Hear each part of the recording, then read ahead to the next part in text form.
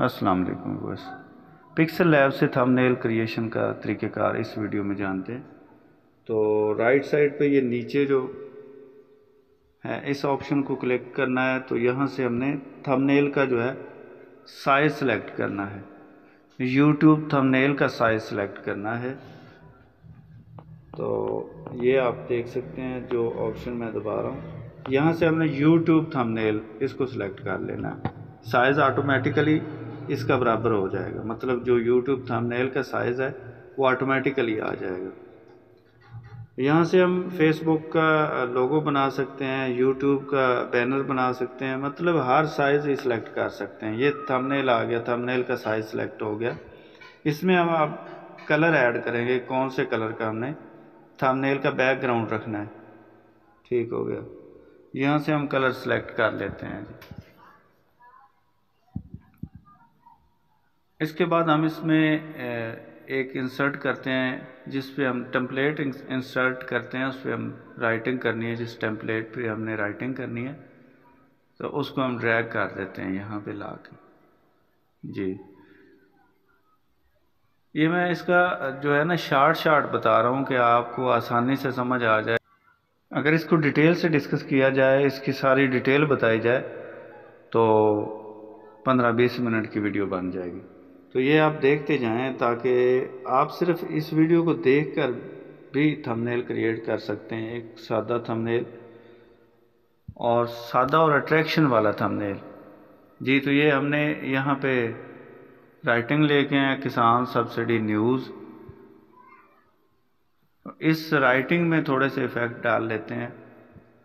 ठीक हो गया। ये नीचे एक ऑप्शन है, इसको क्लिक करके हमने कलर को सिलेक्ट कलर तो पहले दे दिया, सफ़ेद कलर का इसका कलर हो गया। ये ए बी को सिलेक्ट करना है ए बी को। आर्म रेसलर इस ऑप्शन को आपने सेलेक्ट करना है तो ये राइटिंग थोड़ी सी मोटी हो जाएगी बोल्ड हो जाएगी।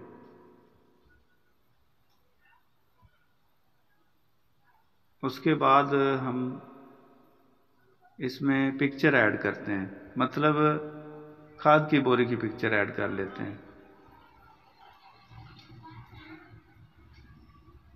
जी तो यहाँ से हमने गैलरी से पिक्चर उठा ली है। पिक्चर उठाते हैं यहाँ गैलरी से। गैलरी ओपन करनी है और पिक्चर ले लेनी है। ये पिक्चर डाउनलोड पहले से हो चुकी है तो इसको हमने ले लिया है। इसका बैकग्राउंड रिमूव किया हुआ है इस पिक्चर का। जो पिक्चर्स भी आपने इस्तेमाल करनी है ना थंबनेल में, उसका बैकग्राउंड पहले से रिमूव करके रखें।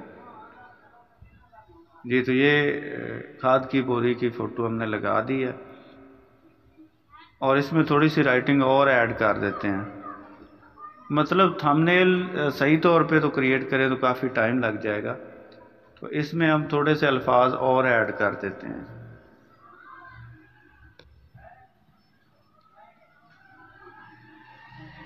डीएपी सब्सिडी कब स्टार्ट होगी?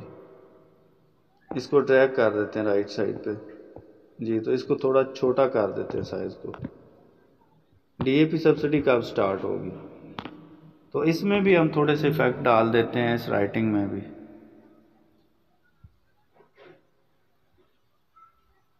यहाँ से कलर इसका चेंज कर देते हैं। कलर चेंज करने के बाद इसमें इफ़ेक्ट डाल देते हैं।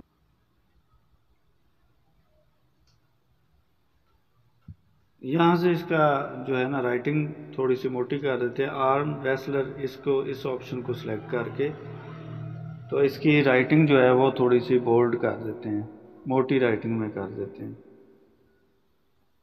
इसके बाद हम इसको एक्सपोर्ट कर देते हैं सेव कर देते हैं।